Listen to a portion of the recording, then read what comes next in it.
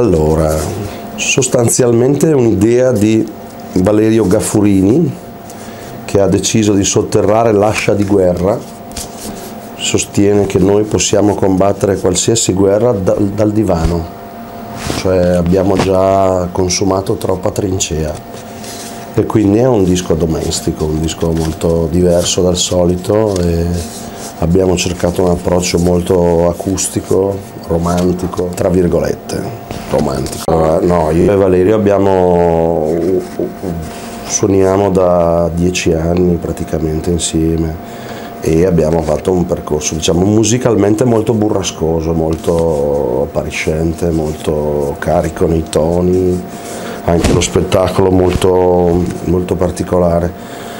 Per cui forse anche perché anagraficamente siamo un po' più saggi, si dice così, abbiamo scelto di fare una roba un po' più soft, più, più ragionata, meno istintivo, più, più, dolce. Ma avevamo bisogno anche noi di fare un, un minimo di riflessione, di, di, di, di, fermare un po' i fuochi d'artificio. E, e, quindi abbiamo pensato ad un disco, avevamo un pugno di canzoni che si prestavano molto a questo tipo di suono l'idea iniziale era proprio un disco piano e voce, poi alla fine abbiamo aggiunto anche una sezione ritmica perché ci servivano dei colori in più.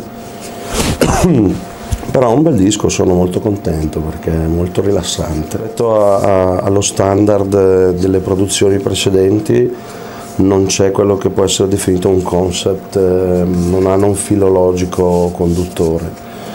Sostanzialmente l'unico filo logico è proprio il, il divano. Abbiamo presentato sabato teatro al Teatro delle Ali a Breno, è stato un successo, lo spettacolo molto riuscito e quindi siamo molto contenti. Ovviamente lo presenteremo ovunque, ma bisogna che qualcuno ci chiami. Beh, ho iniziato metà anni 90 con, eh, all'inizio proprio con il cantautorato italiano da De Gregorio, De Andrea, Paolo Conte poi scorribande rock and roll varie con Bacco il Matto, con eh, i Cantina Occupata.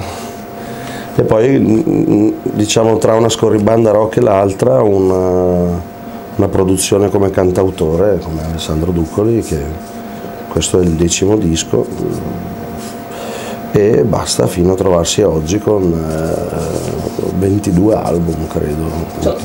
L'album eh, si trova sugli streaming eh, store, quelle minchiate lì che oggi vanno tanto di moda, si trova ai miei concerti, ma il sito, cioè, no, il sito è orribile, però siccome ogni volta devo chiedere la cortesia a qualcuno, eh, chiedere anche la cortesia di farmi un sito, poi doverlo aggiornare sono abbastanza paleo informatico per cui ho questo problema.